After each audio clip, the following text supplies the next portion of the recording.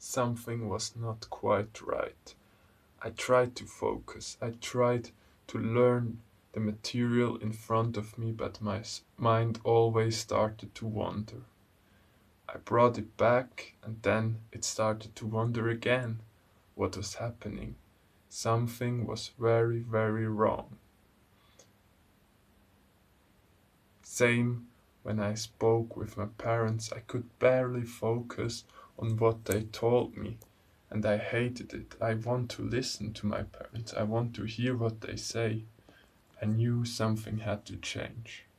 So 60 days ago, I started to meditate. I meditated every day for five minutes at least.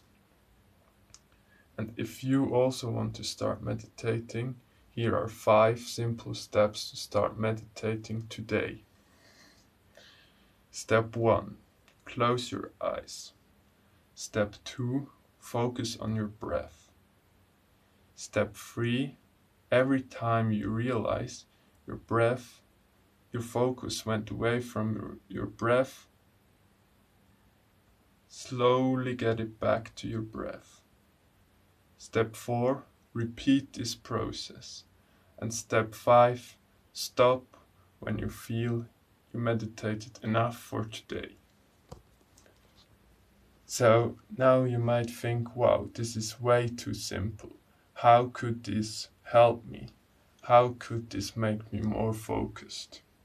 But think about it. Every time you try to learn or you try to focus on, onto something, it's the same principle. Your mind wanders away and you have to bring it back. So it's like it's like strength training for your brain. Another thing you might say, I can't sit still for five minutes. I mean, you watch TikTok videos and it's clear that your focus isn't that good at the moment. So maybe just start with one mindful breath. You can do it right now. And if you do this today, this is already progress because yesterday you had zero seconds of mindfulness. So just do this and see how it goes.